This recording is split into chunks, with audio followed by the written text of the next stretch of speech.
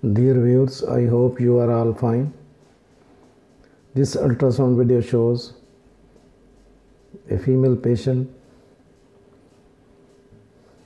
having bilateral ovarian cysts and multiple adhesions in between the uterus,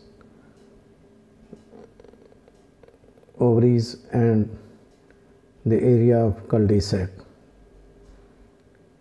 You can see bulky uterus.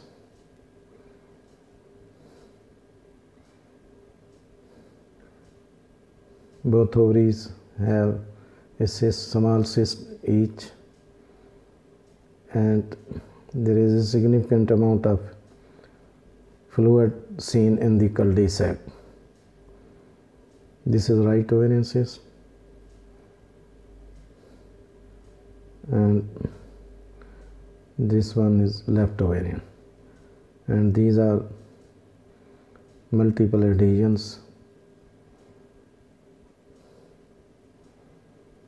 Adhesions in the cul-de-sac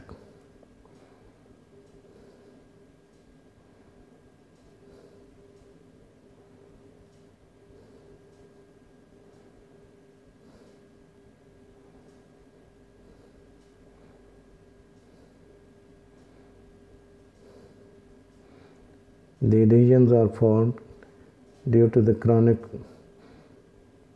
presence of thick and turbid fluid in the cul-de-sac.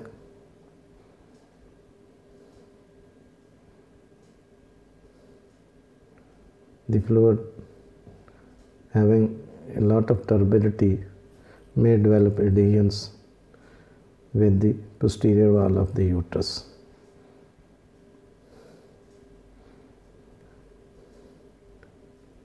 Thanks for watching.